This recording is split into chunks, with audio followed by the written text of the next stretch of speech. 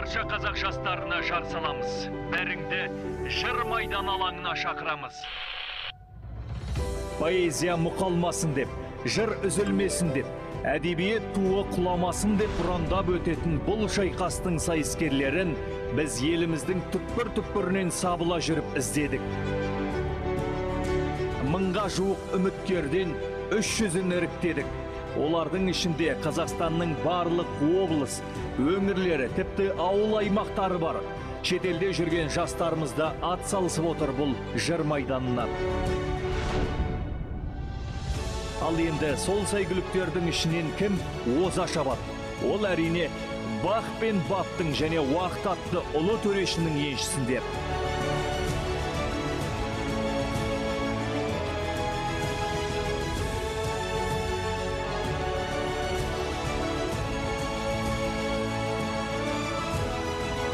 Бәріне қойылған бір ғана талап қазақ поэзиясын сүю әрі құрметтеу. Армысыздар ақындары арынды батырлары қарымды қыздары ажарлы шаңырағы базарлы қазақ халқы. Амансыздар ма өнері мен өмірі қатар өрілген әні мен күйі жыр маржандай төгілген жыр сүйер қауым. Жыр майданда қайта қауышқанымызға өте қуаныштымыз. Осы орайда мен саған бір сұрақ қойғым келіп тұр әйгерім. Дүниеде не өлмейді? Жақсының аты ғалымның хаты өлмейді. Және де бұны айтқан кім? Жиренше шешел мен сені білмей қала ма десем біліп тұр екенсің ғой бәріне. Сонда менің мүдіріп қалғанымды қалап тұрсыз ба? Жоқ әрине бүгінгі сайысқа түсетін үміткерлердің де мүдіргенін мен қаламас едім. Өйткені жартылай финалдың артар салмағы да ауыр. Оның үстіне мен не өлмейді деген сөзге тағы да бір нәрсе қосқым келеді. Өлең өлмейді дер едім. Өйткені өлең жүректің сөзі. Өте дұрыс айтасың елдар. Қазақ барда өлең де бар. Ендеше бірінші айналымызды бастайық. Замандас ақыным. Сайысты бастамас бұрын бақ сынайтын бес үміткермен танысып алған. Дұрыс деп ойлаймын ендеше бірінші қатысушымыз айбол. Және бүгінгі сайысымыздың жалғыз аруы диляра. Жартылай финалға іріктеу сынынан сүрмей өткен арман.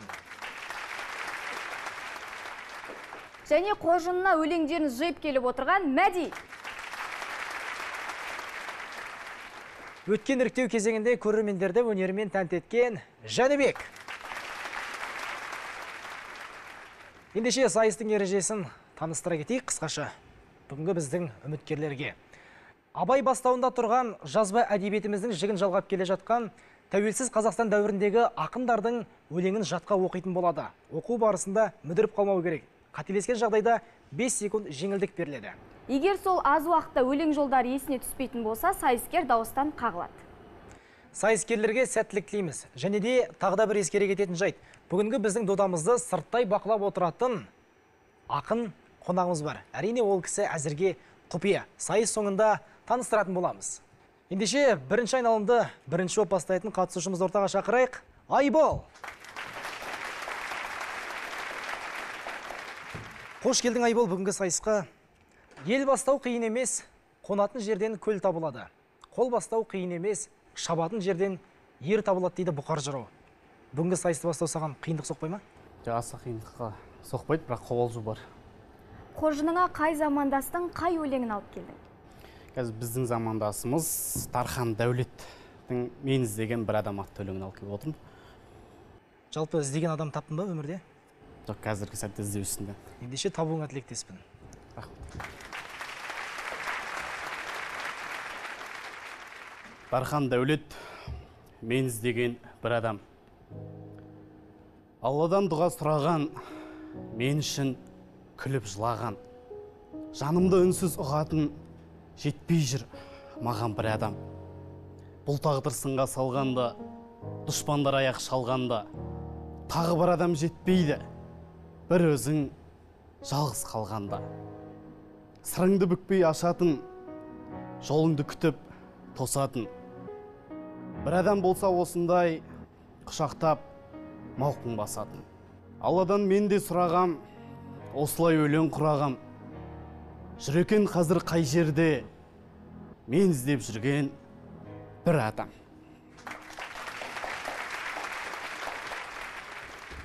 Керемет нақышына келтіріп орындадың қазіргі тәуелсіздікпен түйдей құрдас ақындардың өлеңін. Жайғасуға рұқсат біздің жыр майданының төріне.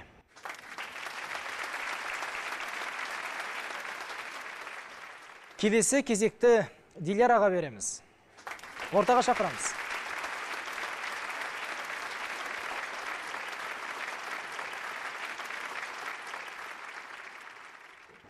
Қош келдің диляра. Есімің ерекше екен. Бұл не мағына білдіреді?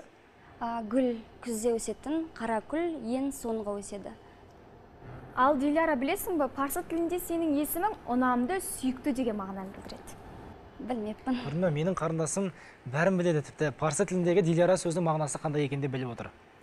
Ал енді бүгінгі сайысқа қай ақынның өлеңін алып келдік? Жаныңызға жақын ақын кім? Ақберен елгезек сен ешкімге бермеймін сұрамасын. Тыңдайық ендеше.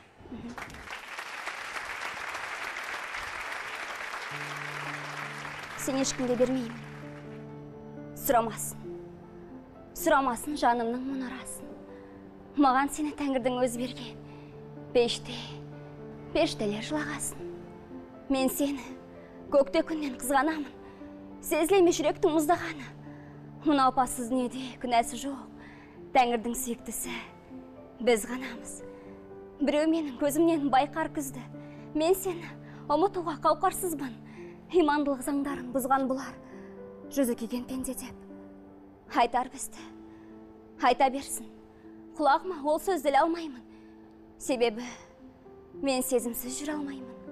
Өзге ерсіз күн кешсем өкінбеймін. Ал өзіңсіз өмірді сүре алмаймын.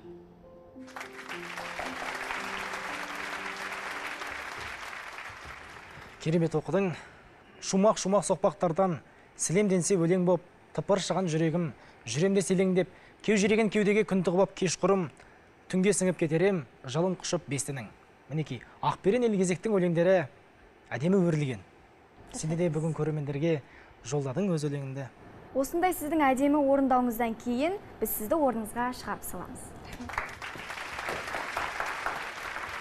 Сайдың тасында іріктелген бірінен бірі өтетін қатысушылар жиналып қалған екен. Енді келесі болып кім шығады елдар? Келесі болып ортаға арманды шақырамыз.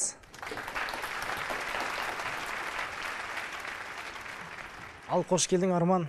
Қош көрдік. Енді жапон классиктарының сөзіне үңілетін болсақ адам армандаудан ешқашан жалықпау керек екен. Егер де армандауың тоқтаған кезде адамның өмірі де тоқтайды дейді. Сол қаншалықты рас өзі сен жалпы арман мақсатың қандай? Көп пе Ә, қазіргі кезде менің ең бірінші арман мақсатым ол осы бағдарламаны жеңіп шығу болып тұр.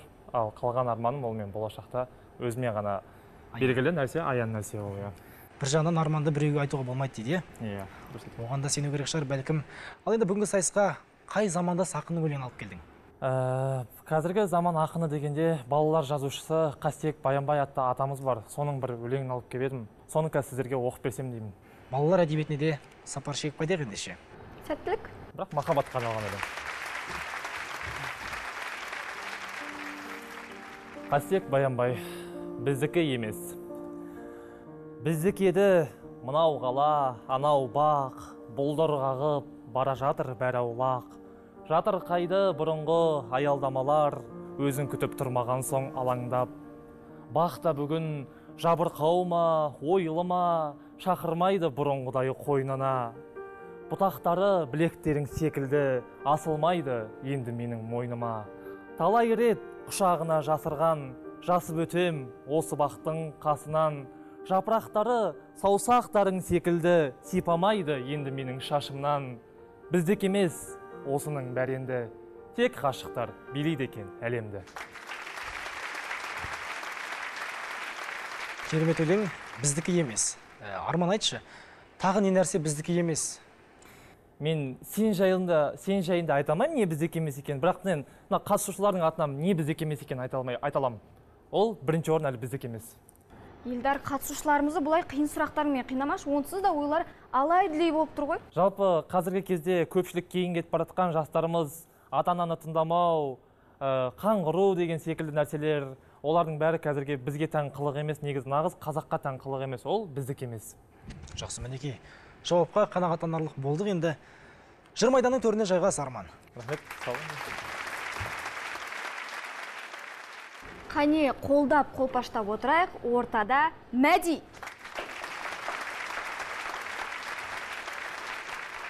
Мәди қош келдің. Қош көрдік. Қанша өлең жатқа білесің? Ә, білмеймін нақты санамаппын бірақ біраз білемін деп ойлаймын. Сен үшін ақынға тән үш қасиетті атап берші. Сабырдылық байсалдылық және шыдам. Сен маған сұрақ қойма деп өзің сұрақ қойып жатырсың ғой әйгерім жақсы ендеше мәдидің аяқ алысын көрейік. Бүгінгі сайысқа қаншалықты дайын екен? Кеттік.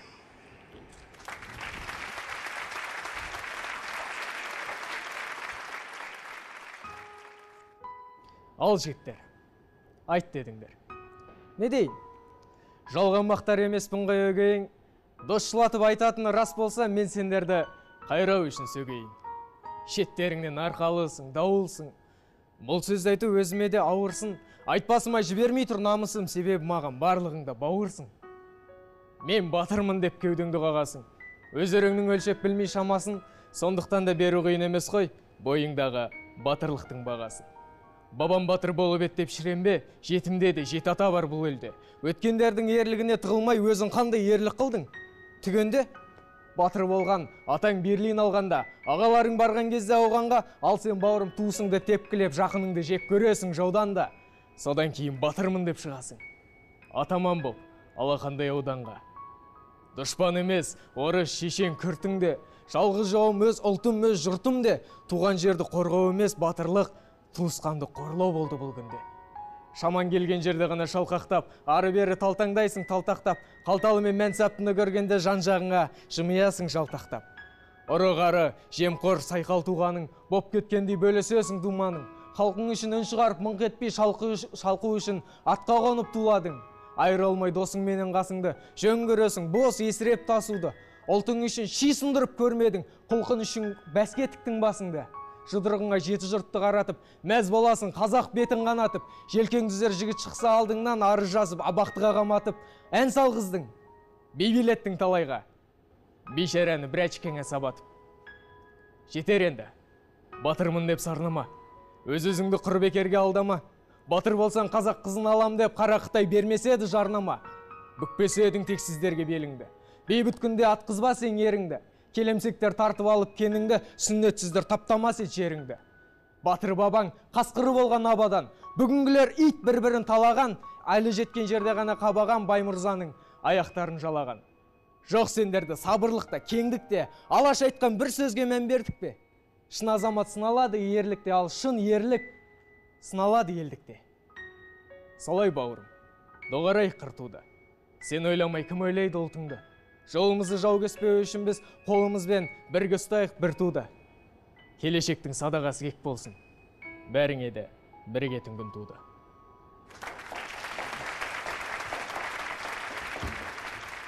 Керемет өлең болды. Өзің қандай ерлік қылдың түгенде дейді. Расымен де бұл сұраққа әрбір қазақтың азаматы іштей жауап берсе деп ойлаймын. Жақсы мәди жортқанда жолың болсын жайғасуға рұқсат қошеметтеріңіз. Бірінші айналымды аяқтайтын жәнібек әшімжанов.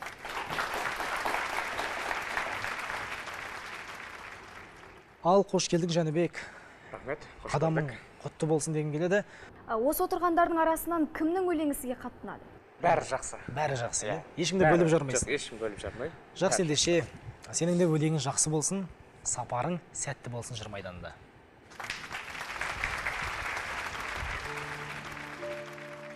Мейіржан әлібекұлы тәубеңе кел. Таудан биік секілденіп талғамың ардан биік секілденіп арманың. Пенделікпен ұмытасың тәубеңді сынағына шыдай алмай алланың. Ай мен күнге өптіргін кеп шекеңді көлгірсисің көрмедім деп шетелді. Тәубеңе кел шетел түгілі зағиптар көре алмайды өзі туған мекенді. Қошеметті көрмесеңіз несі бар? Бар жағдайды ақылменен шешіп ал. Жылы сөзді естімеген кезіңде керең болып туғандарды есіңе ал. Тәубеңе кел. Пенде болсаң несі бар? Сабырсыздар қадірсіз боп тосылар. Дүниеге қолың жетпей қалғанда қос қолы жоқ пенделерді есіңе ал. Бақыт мәңгі тұрсын десең басыңда. Қанағат қыл ашуланба тасынба. Көлігім жоқ деп ренжуің бекерлік аяғы жоқ адамдардың қасында. Топ алдында төрге озғың кеп төтеден.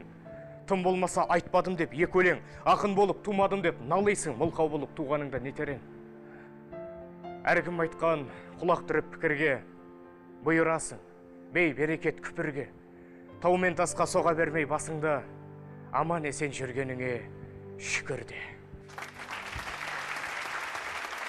Тәубеңе кел деген өлеңмен бірінші айналымда аяқтап отырғанымыз қандай жақсы? Расымен де бейбіт заманда жыр майданын тамашалап отырғанымызға шүкір деуіміз керек. Жаратқан иеміз шын майданнан сақтасын. Орныңызға жайғасуға рұқсат. Қош келдіңіз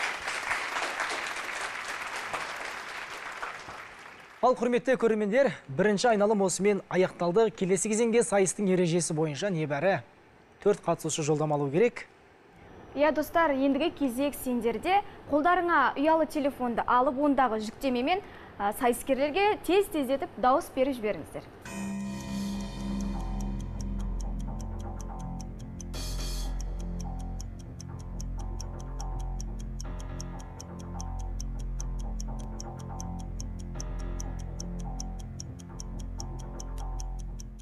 Сіздердің дауыстарыңыз толықтай қабылданғанша еліміздің әр өңірінен келген жауһар жырларға кезек берейік.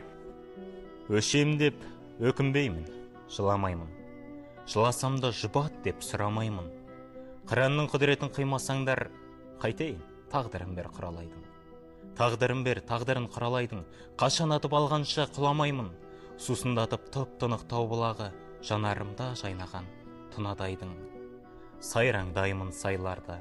Қырдасамын сыңсыған ну орманмен сырласамын. Қарауылға іліксем ілігейін құзғынға ұқсап келмейді мың жасағым. Өшем деп өкінбеймін қайғырмаймын. Өткен өшті енді оған қайырылмаймын. Қыранда құралайда болмағымен атымнан адам қойған айырылмаймын. Арпалысып жүргенде өмірменен қай қайдағы әкетпес көңіл деген өлсем өлем өзімнің жерімдемен қалсам қалам өзімнің елімдемен жыламаймын сондықтан көңілденем Тағы бір Нұрсұлтан қаласына келген өлеңге назар аударайық.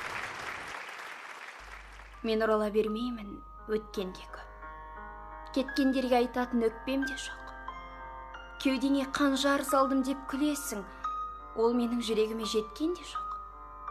Сен күлесің естелік қалады деп. Жүрегің жазылмайды жаралы деп.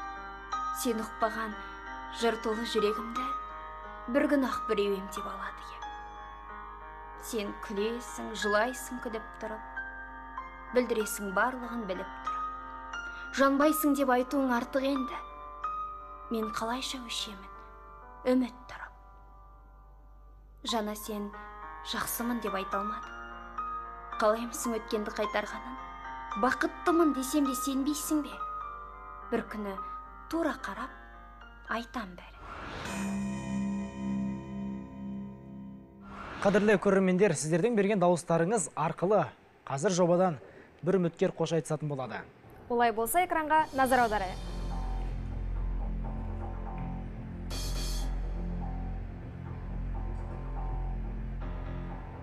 Арман көш басында келе жатыр Диляра екеуі өкшелеп келеді бір-бірін.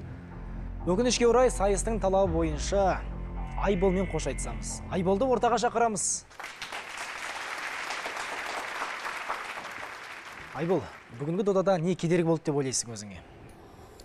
сәттілік жетіспеді деп ойлаймын әрине жарыс болғаннан кейін жеңіс пен жеңіс қатар жүреді бұл жолы сәттілік жетіспеді деген ойдамын Бүгінгі жобадағы жартылай финалға жетудің өзі үлкен еңбекті талап етеді. Сен сол еңбекті ақтадың деп ойлаймын. Енді жыр майданы туралы бірер ауыз сөздер айтсаң.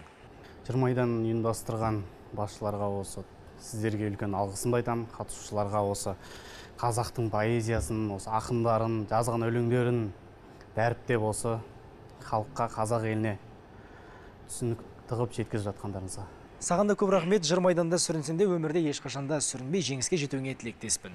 рахмет Төрімізге жайғасуға шақырамыз.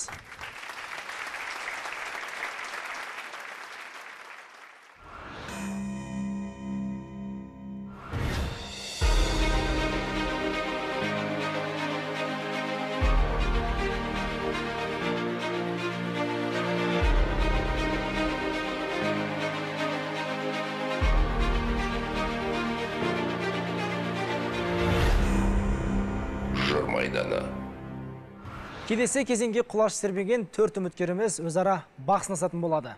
жыр жобамыздың дүбірлі додамыздың келесі айналымы кедергіні елемеймін деп аталады.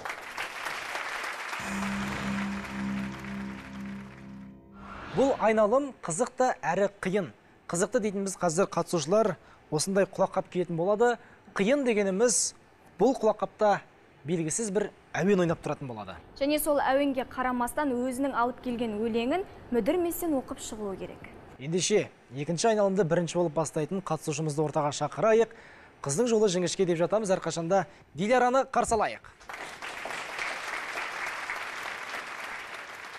Ал диляра бастапқы сайыс сен үшін оңтайлы болды. Ал енді осыны бағындыра алар ма екенсің? Бірге көрейік.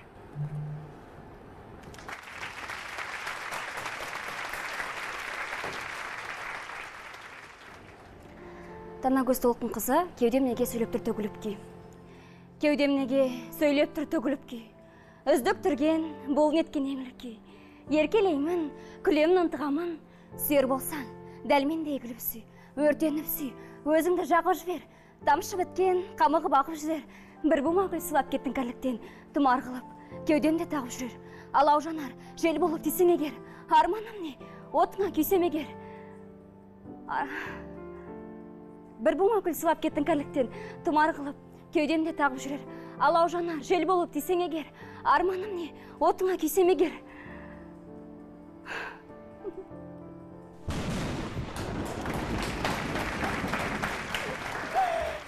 ең соңғы екі жол әрине ең соңғы екі жолы қалып еді мен диляраға қатты үміт артып едім өкінішті ақ өте қиын сайыс қой иә диляра иә қиын расымен де қиын екені байқалып тұрды. Өйткені сен өлең оқу барысында асығып тұрдың. Әннің ырғағы тез болды ма? Иә дискотечный ән болды. Бәсе байқалып тұр. Жақсы көңіл күйінді түсірмей ешқашанда жыр майданның жартылай финалының екінші айналымнан қоштасып тұрсың. Бұл үлкен жетістік. Ал орныңа жайғасуға рұқсат. Қошеметтеріңіз диляраға келесі болып кедергіні елемеймін айдарында бақ сынайтын арманды қарсы алайық. Ал арман бұл құлаққап сізге таныс қой иә? Иә әрине күнде тыңдайтын құлаққабымыз ғой. Ендеше күнделікті қолданып жүрген құлаққабыңызбен бірге өлең оқып көріңізші. Кеттік. Сезбейсің ғой сезбейсің ғой сен мені. Көрмейсің ғой кереметті мендегі. Түсінсеңші сарсам болған пендені. Түсінсеңші ақыл ойың кембеді. Неге бұлай? Неге жүрміз? Көңілсіз кетем бе деп қапаланып өмірсіз? Шын ғашықпын шын ғашықпын сол адамға. Мен болмасам бола ма ол аман ба? О тәңірім неткен жан едің? Жүрегің еттен бәлде қоладан ба? Шын ғашықпын несіне оны жасыра алам? Әрбір алтын ғой бір тал шаш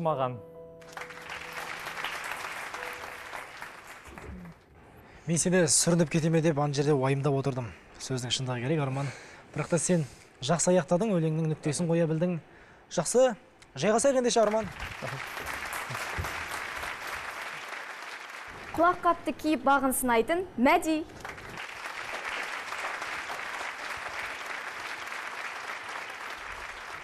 Ал мәди бүгінгі келбетің тамаша болып тұр.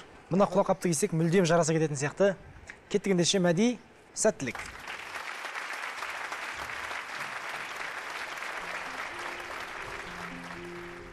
алыстап кетсем сағынып тұратын сағынсам қасымнан табылып тұратын достарым. Мен сендерден басқа не кетпеймін барынша бағалаймын құрметтеймін. Иә мен кейде бір беткеймін көңіліме жаққанды төбеме алып жақпағанды қасымнан тұр кет деймін. Бірақ мен достықтың қадірін бұзған жоқпын әлі. Білесіз бе біз жүрген жер махаббат достық қыз қызғалдақтың әні. Кейде бір досың шалыспастан қыздан лақтырады. Кейде бір ертесі барсың бей деп звондап тұрады. Достарым біреуің көсемсің біреуің шешенсің. Біреуің өсерсің біреуің өшерсің. Біреуің бетіме түкіріп кетерсің біреуің құшақтап қатемді кешерсің. Әйтеуір достықты өмірде бұғатын біреу бар. Ол адам не менмін не сенсің. Достарым өмірді мынау өзіңе берген лайықты өткерші. Дос деген ұлы жолдан байқа тайғып кетпеші. Сен жақтан біраз ағаттық кетсе кештім мен. Ал мен жақтан достым қателік кетсе айып етпеші. Керемет мәди журналистика жолындағы алдыңғы толқын ағаларымыз саламат омаш ағамыздың өлеңін оқыдың ғой сен иә жақсы қазіргі кезде жастардың арасында кеңінен тарап үлгерген қазақ поэзиясына жаңа серпіліс берген өлең деп қабылдадық. Жақсы жыр майдан төріне жайғасуыңа рұқсат. Құлақ қабын қалдырып кетсең. Кедергіні елемеймін айдарын аяқтайтын жәнібекті ортаға шақырамыз.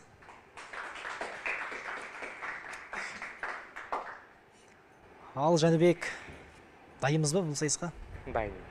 Жақсы. Жыр майданы сайысының ережелері?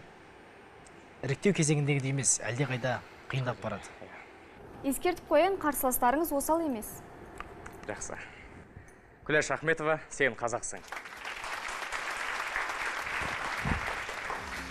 Сен қазақсың. Қазақ деген ел бөлек. Қазақ салған соқпақ бөлек жол бөлек. Киіз үйі жер сияқты жұп жұмыр шаңырағы күн сияқты дөңгелек. Сен қазақсың. Бір алланың құлысың. Адамға адам құл болғаны құрысын. Жойқын соғыс зұлматтарда жойылмай қалған ұлтсың қаһармансың ұлысың. Сен қазақсың отаншылсың тектісің. Досың адал дұшпаныңа кектісің бұл далаға мұрагерлік иелік ұрпақтарға ұлы аманат дептісің сен қазақсың айлалысың ептісің айбарлысың ақылдысың беттісің. Көп болуға бір болуға тиіссің көрмеу үшін жаттың езгі тепкісін. Сен қазақсың қазақ едің туғанда. Онда дүние тағылымнан үлгі алда. Ата жұрттан ана тілден айырылма төбеңде күн. Төменде жер тұрғанда сен қазақсың.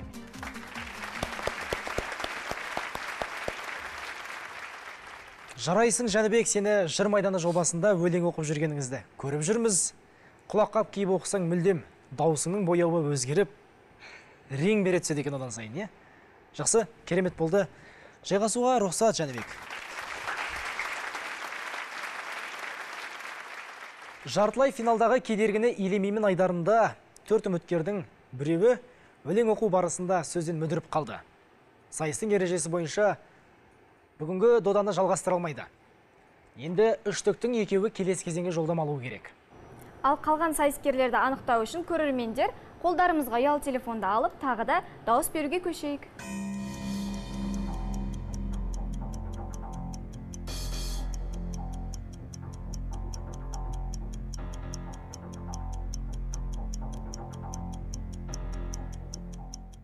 Көрермендеріміздің дауыс беруі аяқталғанша.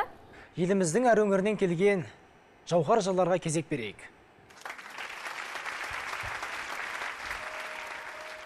Жырмен ғана жеткіземін лебізді. Өмір мені әлі талай сынайды. Өлеңіме арқау қылып негізі маған сені жақсы көрген ұнайды. Махаббатты жүрмесем де ұраңғып жүректайым сені ғана сұрайды. Соңғы үмітті тағып алып тұмарғып маған сені жақсы көрген ұнайды. Жұлдыздар да жазғанымды жаттапты. Өздерінше олар да өлең құрайды. Қиялыма ерік беріп тәп тәтті маған сені жақсы көрген ұнайды. Бүгінгі жыр додасында көрермендеріміз өлең тыңдап арқалары қозып бүгінгі біздің қатысушыларымыздың көздері мөлдіреп отырған жайы бар. Неге десеңіздер келесі кезеңге қай қатысушы жолдама алды екен бәрінде бір сұрақ. Ендеше осы сұрақтың шешімін табу үшін лед экранға назар салайық. Кім өтті деп ойлайсың әйгерім Ә, менімше белгісіз бірақ жәнібек көштің басын бастап келе жатыр. Қалай болар екен? Бірақ сен айтқан жәнібек көштің соңында қалып қойды. Өкінішті әрине бұл сайыс болғаннан кейін ереже бәрімізге ортақ көрермендердің талабы солай болса амал не? Ендеше ортаға жәнібекті шақырамыз. Мен білсем жәнібек жаңа жоба барысында өлеңді тамаша оқыды иә? Әрине тамаша оқыған болатын. Қай жерден қате кетті деп ойлайсың жәнібек? Өкініш бар ма? Өкініш жоқ. Негізі қазір бір нәрсе дұрыс емес әділ емес деп айтсам жігіттің мен сын болайын деп тұр. Ә, ең бастысы экранның ар жағында көрермен көріп отыр. Ә, әділ бағаны да көрермен береді. Жақсы көңіліңде кірбің бар сияқты. Бірақ сонда да бұл сайыс болғаннан кейін көрермендердің дауысы маңызды. Оларды да ескеру керек. Бірақ сен өзіңді көгілдір экранның ар жағында отырған көрермендерге дәлелдедің деп ойлаймын. Одан артық қандай дәлел керек? Иә. өзіңнің мықты екеніңді. ең бастысы ә, сол кісілер шешеді деп ойлаймын. Ә, бұл жерде ешқандай артық әңгіме айтпай ақ қояйын. Жақсы енді бәріне сәттілік. Жақсы жәнібек. Өзіңнің ә, шабытың келіп тұрған сияқты. Десе де біздің жыр майданының төріне қонақ болуға шақырамыз. Қошеметтеріңіз жәнібекке.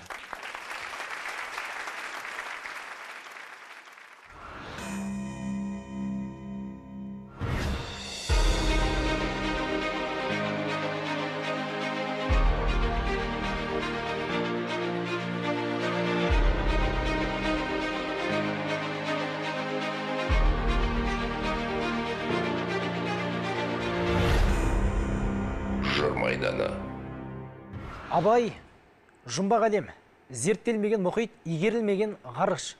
Бұл сөзді айтқан мен емес ақылбек шаяхмет ағамыз. Ендеше бүгінгі додада абай әлеміне бірге сапар шегетін боламыз. Біздің елдар бейнелі көркем сөздермен түсіндіріп айтып жатыр ал мен оны қарапайым тілмен түсіндіріп кетейін. Ә, соңғы айналымда абай атамыздың өлеңдерін бастапқы екі жолын немесе бір шумағын оқитын боласыздар. Ал мүдіріп қалған сайыскермен өкінішке орай қоштасамыз. Ендеше кірісейік ендеше абайдың ізімен сайысын бастаймыз. Бүгінгі жыр майданы жобасындағы жартылай финалдың ақтық сынына жолдама алған жеңіс тұғырын үміткер екі қатысушымызды ортаға шақырамыз. Ал екі жігітіміз келді ортаға. Қазір расымен де әйгерім жырдың майданын тамашалайтын сияқтымыз. Сайыс ережесі түсінікті ғой иә? Түсінікті. ендеше сіздерге сәттілік тілеп қояйық. Сендерге жыр майданның ұсынған өлеңі жазғы тұрым жазғы тұрым қалмайды қыстың сызы масатыдай құлпырар жердің жүзі. Жан жануар адамзат анталаса ата анадай елжірер күннің көзі. Мен білмеймін.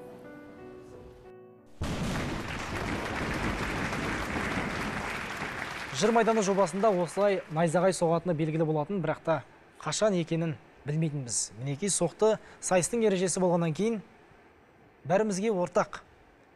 Арман сені жеңіспен құттықтаймын. Мәди еш мұңайма. Жартай финалға жетудің өзі үлкен жетістік.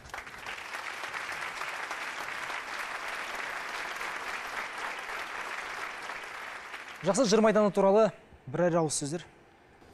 Ә, осы жартылай финалға жеткеніме де қуаныштымын. Енді осындай проектілер көптеп ашылғаны дұрыс деп ойлаймын. Бұл арқылы өзіміздің түбімізді тарихымызды білеміз. Ішіңде ешқандай өкініш жоқ па? Жоқ ешқандай өкініш жоқ. Дұрыс. жақсы бәрі тамаша. Өкпелеме өкінбе өміріңе өмір өмір болмайды түңілуге? Мәңгі сені жазбаған сүрінуге қайта тұрып хақың бар жіберуге керемет мінекей мадидің шабыты тасып тұрған сияқты. Ендеше арман сені ақтық сынға жолдама алуымен құттықтаймын. Мәдиден рұқсат болса шабыты келіп тұрған шақта бір өлең тыңдасақ. Рұқсат па? Жақсы. Әрине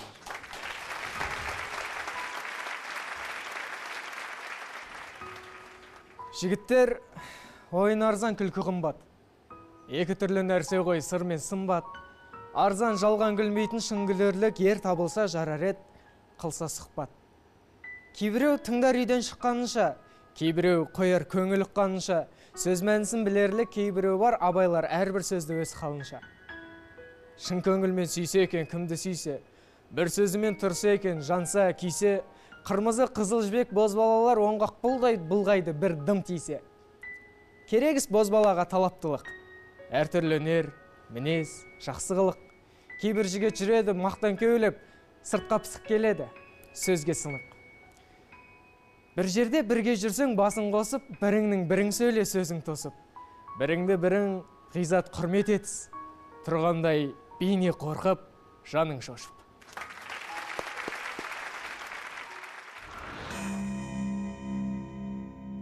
Ендігі кезекті жыр майданы жобасында өлеңдері көп оқылған ақындардың рейтингіне береміз.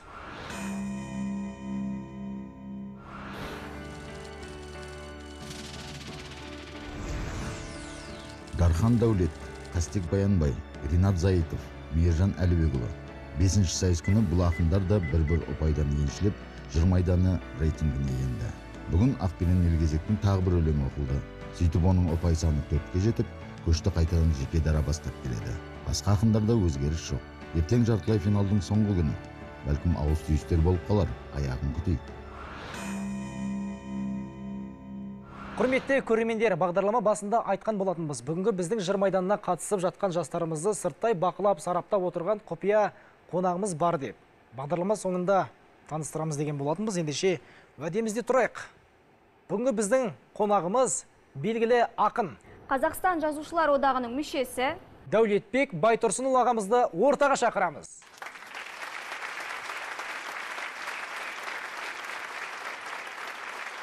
Қош келдіңіз дәулетбек аға. Бүгінгі жалынды жастар бас қосқан жыр майданы додасына өздеріңіздің өлеңдеріңізді жатқа оқып бүгінгі біздің жастарымыз халық алдында насихаттап жүр. Өзіңіздің ағалық ақылыңызды ақ батаңызды берсеңіз. Қазақ өлеңі ә, қазақ жыры ә, бұл біздің ә, біріншіден ұлттық құндылығымыз. Екіншіден бұл біздің жаңағы мәдениетіміз.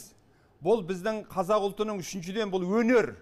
Сондықтан бұл жыр ә, ғасырлардан ғасырларға бойы жалғасып келе жатқан ақындардан жыраулардан ә, осыдан 150 жыл бұрын өткен абай атамызға жетті. Одан күні кешегі ғана арамыздан өткен мұқағали мақатаевқа жеткен сансыздаған ақындар біздің осы қазақ деген атымызды біздің рухымызды біздің өнерімізді өздерінің сөз құдіреттері арқылы паш етіп келді. Негізі адам баласы екі нәрседен құралады. Біреуі тән екіншісі жан ал адам тәнді көркемдеу үшін киінеді боянады әдемі жүреді бұл біздің тәнге сыртқы көркемдік келбетімізге қаратылған ал адамның енді жаны болады жан деген ол іште ал іштің сұлулығын не арқылы жасау керек іштің сұлулығын білім арқылы әдебиет арқылы көркемөнер арқылы адам ішінің сұлулығын арттырады түбінде қай сұлулық жеңеді түбінде сыртқы сұлулық қалады түбінде адамның нақты сипатын белгілейтін оның ішкі сұлулығы ішкі көркемдігі адам білімді болған сайын өнерлі болған сайын әдебиетке көркем өнерге жақын болған сайын оның ішкі сұлулығы артып отырады яғни біздің бабалардан даналардан мындай сөз қалыпты кітап оқу тоқтаған жерде адамның ойлауы да тоқтайды дейді сондықтан үздіксіз түрде кітап оқу көркем әдебиет оқу жыр оқу біздің ойлауымызды арттырады көркемдігімізді ішкі сұлулығымызды арттырады. Сондықтан бұл мына жыр майданы ә, бәсекесі жыр майданы байқауы керемет ұйымдастырылған. Біз осы арқылы өзіміздің кегімізді іздейміз өзіміздің кім екенімізді іздейміз. Қалғып кеткен ұйықтап қалған намысымызды қайта оятамыз. Осы арқылы біз жаңа дәуірге лайықты жастар ретінде өмір сүреміз. Мына бүгінгі байқауға қатынасып отырған жастарға мен риза болып отырмын. Ол өлең мәселесі жыр мәселесі тек соны жазатын ақынға ғана байланысты емес. Ол қоғамның әрбір мүшесіне байланысты. Ол мейлі зиялы болсын мейлі жұмыскер болсын мейлі дәрігер болсын. Ол өлеңге өнерге жақын болу керек. Сонда ғана кәдімгі өзінің адам ретінде таниды. Мынау бір керемет байқау екен. Мен бүгінгі жастардың өлең оқығанына қатты риза болдым. Ә, бұл тек қана осы бір аудитория көлемінде емес тұтас ел көлеміне жалпыласуға тиісті. Сондықтан рахмет айтам. Жастар өзінің ә, жаңағы осындай жалынын жігерін өмірге құштарлығын әркез әйгілеп отыру керек. Енді өзіңіздің аузыңыздан өзіңіздің шығармашылығыңызды тыңдасақ деп едік аға. Бола ма? Сіздің өлеңіңізді тыңдауға асықпыз. Рахмет. Жақсы. Алғашқы диалог. Анауы алай мынауы былай қал мүшкіл естисің жұрттан заманға деген қарғыс кіл қиындық деген қисапсыз қинау салады. Ән емес жұрттың езуіндегі бар мысқыл деп маған мүлде ұғындырмағын ұғамын өзіме өзім болып өскемін мұғалім ертеңін елдің күтумен төрт боп қос көзім жастыққа тимей тың тыңдап келді құлағым. Аузың жетпей кешігіп қалсаң азаққа бір жола батып кеттік дейсіңдер азапқа. Ертеңін елдің ойламау деген кешелік қан жұтып босқа қамығу намыс қазаққа дат басып қалған мылтық емеспін атылмас. Тартылыс күшімін қазақтың күнін батырмас. Үйсін тау елінен келген ақынмын қайта менімен қалай ел болу жайын ақылдас. Керемет дәулетбек аға бүгінгі біздің жастарымызға шабыт бердіңіз өлеңді қалай оқу керектігін үйреттіңіз десек те болады. Рахмет осылай жастарға жанашыр болып арамызда жүргеніңізге. Рахмет. Жайғасуға рұқсат қошеметтеріңіз. Көп рахмет. Жүрегіңнің түбіне терең бойла. Мен бір жұмбақ адаммын оны дойла. Бүгінгі қатысушыларымыз хәкім абайдың әлеміне қаншалықты саяхат жасағанын өздеріңіз көрдіңіздер. Құрметті көрермендер бүгінгі сайысымыз өзінің мәресіне жетіп қалды. Қазақтың қара өлеңін қастерлеген жастарымыз аман болсын. Заман көнерсе де адам өзгерсе де өлең мәңгі. Келесі кездескенше аман сау болыңыздар.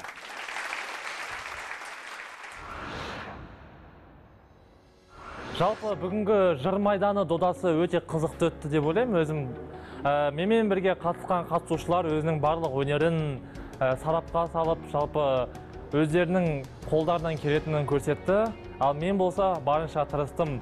Жалпы жамбыл ауданы яғни қарғалы ауылының атын қорғап келіп отырған мен арман боламын. Бәріне сәттілік. Финалда.